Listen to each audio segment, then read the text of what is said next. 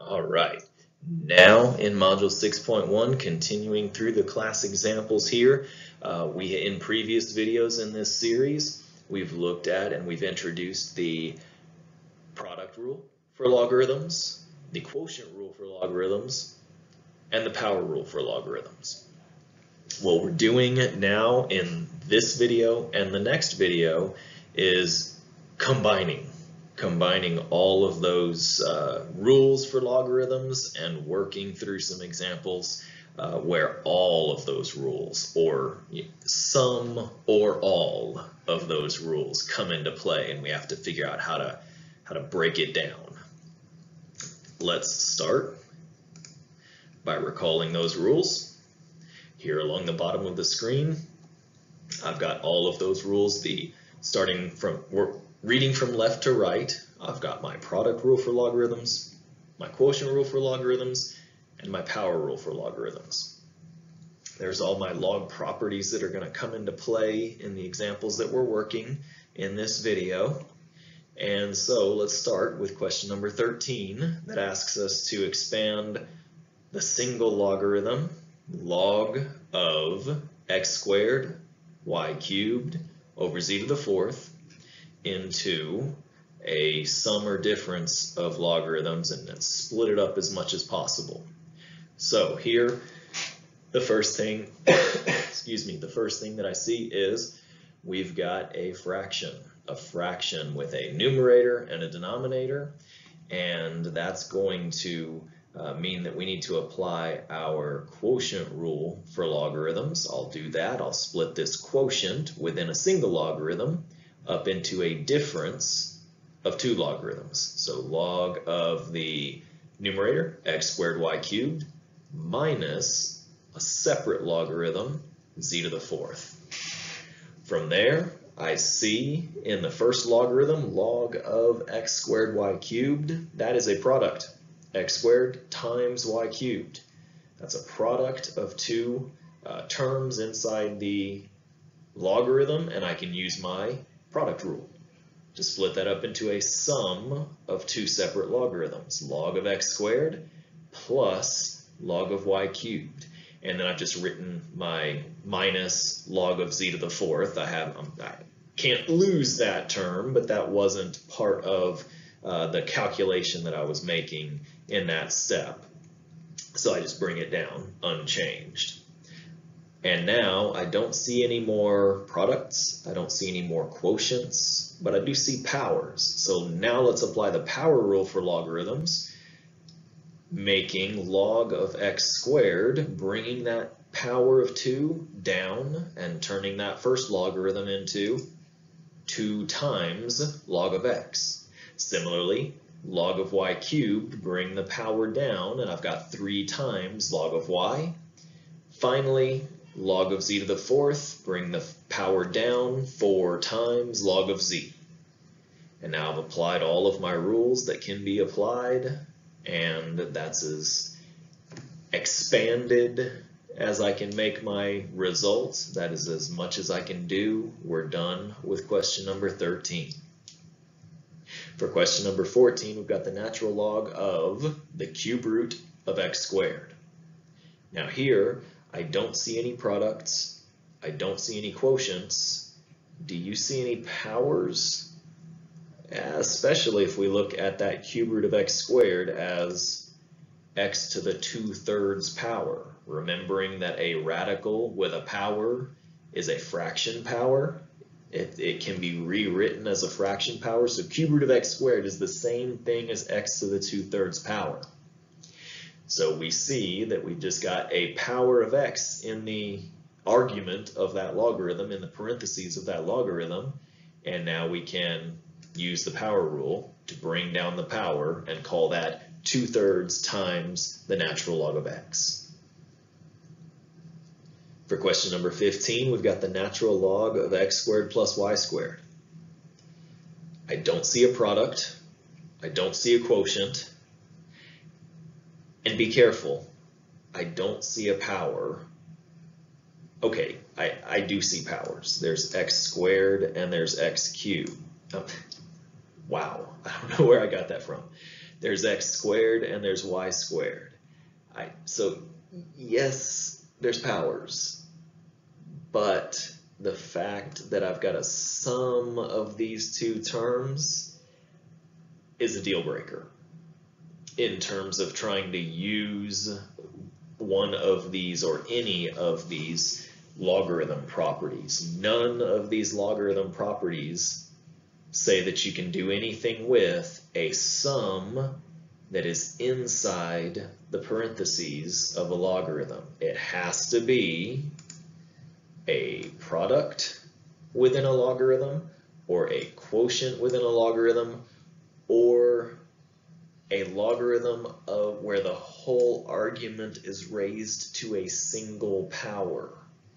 And that's not what we have here. So the natural log of x squared plus y squared, my answer is the natural log of x squared plus y squared. In other words, there's no simplifying I can do. If you want to call this a trick question, fine, whatever. But, but that's not the point. Uh, the, the point is, can we logically think through all of our rules and see which ones apply and which ones don't apply? And if none of them apply, well, then we can't make any simplifications. And that's it for number 15. Question number 16 puts it all together. We're going to need the whole slide for this guy. Here, step by step, one rule at a time, let's consider the natural log of the square root of x minus 1 times 2x plus 1 squared divided by x squared minus 9. First of all, I see there's a fraction that needs to be split. We do that by splitting it up into a difference of two separate logarithms. The natural log of everything in the numerator minus the natural log of the denominator, x squared minus 9. Now we keep working through each of these individual rules as much as we can. In the first logarithm, what I see is a radical. Everything's trapped under a radical right now. I need to get rid of that radical. The square root is the same as a 1 half power. So can you follow me when I write 1 half times the natural log of x minus 1 times 2x plus 1 squared. All I did was I took that radical, I took that square root, and recognizing that that's a 1 half power, brought that out and wrote it as 1 half. Bring the power down and wrote it as 1 half times the natural log of x minus 1 times 2x plus 1 squared. Keep working. What I see in that first natural logarithm right now is a product. x minus 1 times 2x plus 1 squared. So let's split that up into a sum of two separate logarithms the natural log of x minus 1 plus the natural log of 2x plus 1 squared. It's important and, and helpful to just do one rule at a time, one instance of the rule at a time. Take it as slow as we need to, uh, to just, just do one step at a time and get our correct result and be careful as we go through each step. Here, notice too, that I put brackets with the 1 half in front because that 1 half was on the whole logarithm. So it needs to be applied to both the natural log of x minus 1 and the natural log of 2x plus 1 squared. To show that and to remind myself of, self of that, I put the 1 half in front of a pair of brackets or parentheses to, to, so that I remember that that one half needs to be distributed and applied to each one of those logarithms. But let's keep working, looking at the natural log of x minus 1. We can't split that. At least we finally come down to one that where, where we can't work it any further. we're done with that one. But here, the natural log of 2x plus 1 all squared, that's a power on a logarithm. We can bring that power down. So everything else comes down the same. 1 half, natural log, x minus 1, plus, but I bring the 2 power down, 2 times the natural log of 2x plus 1.